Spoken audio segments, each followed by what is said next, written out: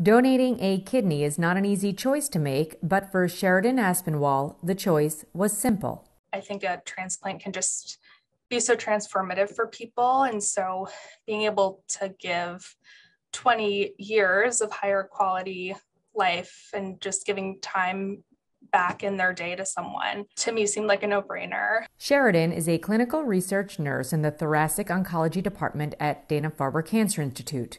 A 26 year old Georgian native in good health, Sheridan decided to become a non direct kidney donor, meaning she donated her kidney to a complete stranger.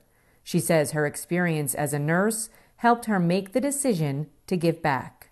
I think anyone who has sort of been in a position of vulnerability before in a medical setting and has depended on someone um, knows that there is such an extraordinary gift to, to feeling that someone is is caring for you and and looking out for you and the the health risks to me are are really low and especially comparing that to you know how much you can give to someone the only thing Sheridan knows about her donation is that they had to fly her kidney to the recipient.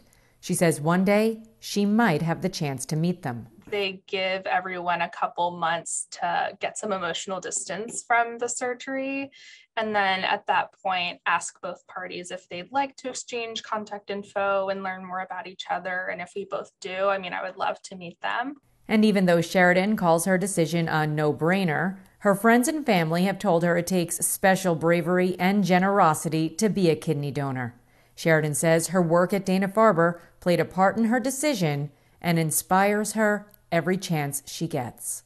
It's just a really um, special place to inhabit in patients' lives. If I am able to do that and, and sort of take burden of the complexity of a clinical trial off of a patient so that they can just focus on getting better, um, then I think I've done my job.